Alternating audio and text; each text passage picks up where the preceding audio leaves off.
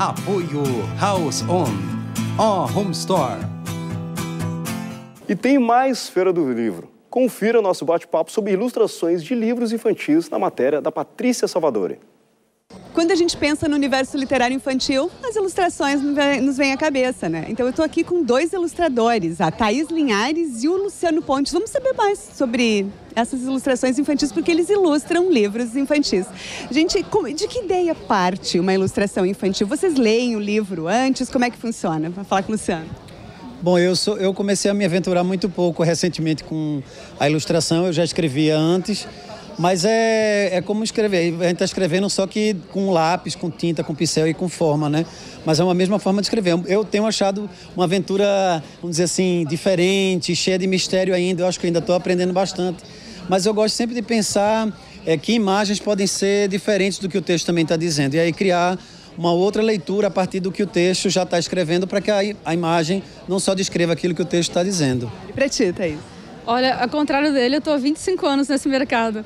Né? E trabalho com, realmente, é uma linguagem, é uma linguagem que a gente usa é, uma parte arquetípica, simbólica, remete à memória afetiva da infância, minha, do leitor. Então, vai dando múltiplas leituras o trabalho de ilustração. Isso é bacana tu lembrar, porque nós já fomos crianças, né? Essas memórias, elas entram uh, de, de, que forma uh, nas referências para criar essas ilustrações?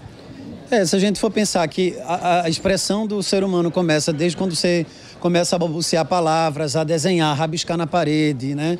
a amassar um papel, a, a descobrir as páginas do livro, você está você tá exigindo esse, essa relação com o mundo. Né? Então, ilustrar, escrever é essa maneira também que a gente tem de poder exercitar esse exercício de comunicação com o mundo.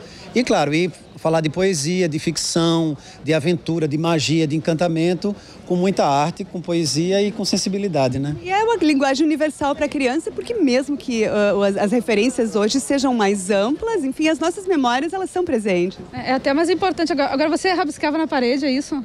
Eu riscava, rabiscava. porque isso é uma coisa interessante, porque assim, eu riscava na parede, mas porque eu não conseguia falar, eu era tímida demais. Eu acho que para uma criança é muito importante poder expressar também, e quando ela vê a ilustração no livro, ela dialoga com aquilo. Eu comecei a dialogar com os livros na ilustração. O primeiro livro que eu li foi Alice no País das Maravilhas que inclusive está cheio aqui, né? Eu falei com o Chapeleiro Louco agora ali. São 150 anos. 150 anos. E eu comecei a ler as imagens e eu, e eu representava com o meu corpo, assim, as cenas, sem entender o que estava escrito ainda. E já era fascinada pelo livro. Né? Muito obrigada e sucesso para vocês. Obrigada. Patrícia Salvador e TVE na Feira do Livro.